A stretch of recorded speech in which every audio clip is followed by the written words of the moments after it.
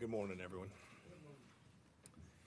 Since America's founding, the concept of individual rights has been woven into the national fabric.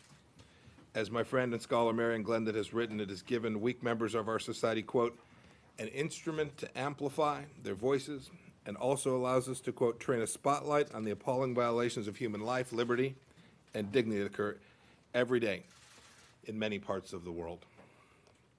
Consistent with our strong rights tradition, today it is my honor as Secretary of State to announce the release of the 2019 Human Rights Report. Now, every year since 1977, the State Department has, through this report, put the world on notice that we'll expose violation of human rights wherever they occur. We have told those who disgrace the concept of human dignity they will pay a price, that their abuses will be meticulously documented and then publicized. By articulating abuses and pressuring non-compliant regimes, we can affect change. We've certainly seen that. Over the years, this report, report has pushed governments to change course and cease engaging in brutality and other abuses.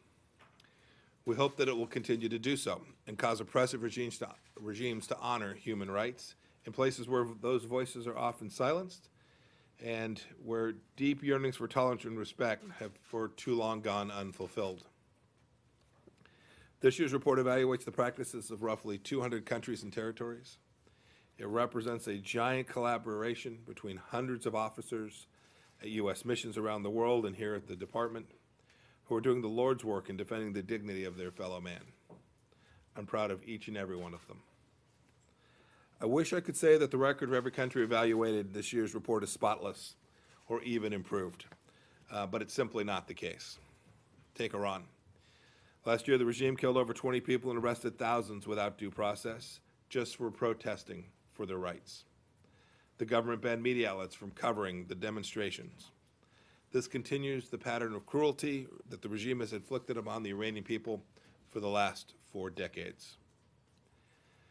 Meanwhile, in South Sudan, military forces wage sexual violence against civilians based on their political allegiances and their ethnicity. In Nicaragua, when citizens peacefully protested Social Security benefits, they were met with sniper fire. Critics of the government have faced a policy of exile, jail, or death. Then there's China, which is in a league of its own when it comes to human rights violations. In just 2018, China intensified its campaign of detaining Muslim minority groups at record levels.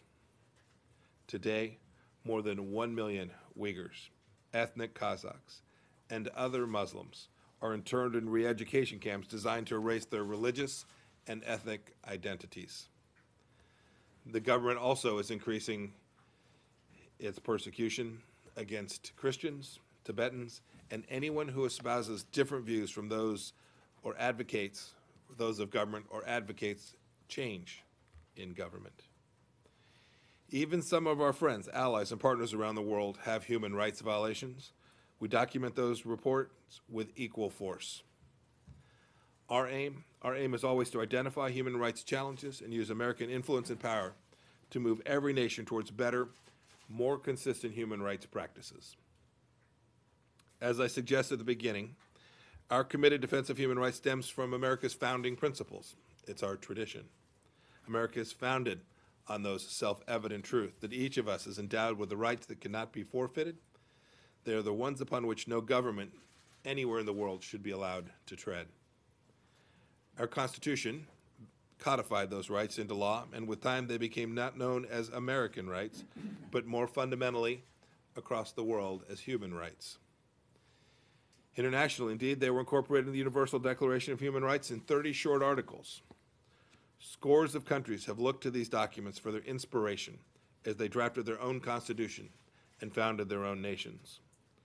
Today, the State Department continues to play a leading role in championing human rights across the globe, honoring the vision of our founders, and expressing our time-honored American aspiration for all people to be free. By issuing today's report, we deploy the truth, the truth about abuses occurring, occurring around the globe as one of the most powerful weapons in America's diplomatic arsenal. Thank you, and I'll now turn it over for questions to Ambassador Kozak. Ambassador Kozak?